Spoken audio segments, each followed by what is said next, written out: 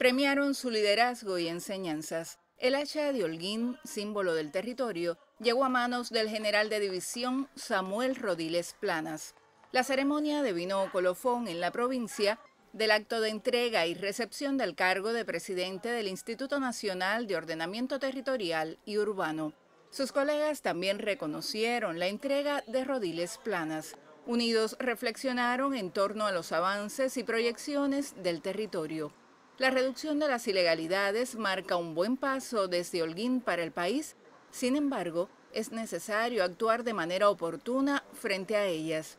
Estuvieron presentes el miembro del Comité Central y primer secretario del partido en la provincia, Ernesto Santiesteban Velázquez, y el gobernador Julio César Estupiñán Rodríguez.